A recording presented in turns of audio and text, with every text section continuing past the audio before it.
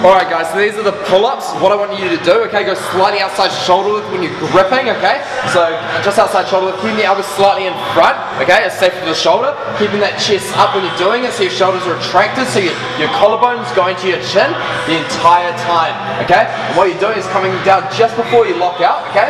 Because what, basically what's happening is if you're locking out, your shoulders are going to lose retraction, okay? So we want to keep that retraction through the scapula. You're pulling your chest up, keeping the collarbone high, and then controlling down, okay? The entire time keeping those shoulders down and fixated, okay? Those guys are the pull-ups.